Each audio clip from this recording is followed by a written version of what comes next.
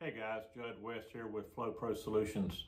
I wanted to do a quick video showing how to reprogram the remote uh, for the FlowPro for all systems bought after January 31st, 2021. We went to a better remote system uh, using the feedback function, which changed how to program the remotes for anyone that uh, loses theirs or breaks it or whatever happens. Um, so I'll be back. All right, I'm back. Before you start, be sure you have your FlowPro uh, control box hooked up to a battery source. Make sure you have it turned on and make sure your remotes are turned on.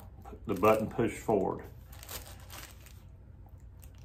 When you receive the remote, the light will come on, but nothing will happen when you try to uh, use it. So what we've done is inside the cover, inside the control box, we drilled a hole in the cover. There's a white reset button below that. And all you have to do is take the Allen wrench that's supplied with the FlowPro and just gently put it down into the hole and you'll, you'll feel it and you'll hear it click when you push it.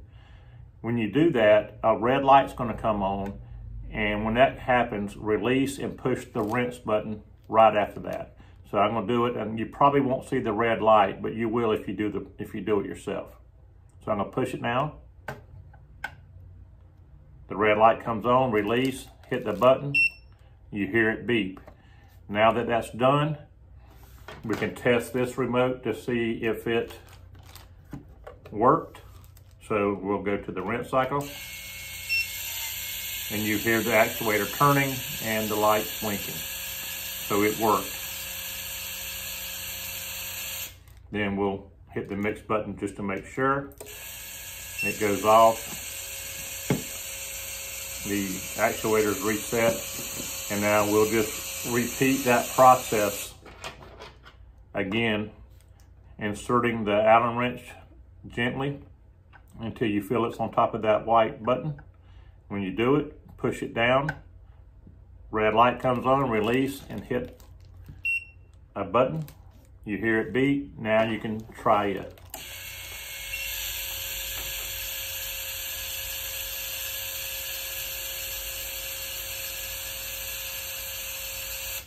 You're done with the Allen wrench. Make sure you put it back where it belongs so you'll have it for next time.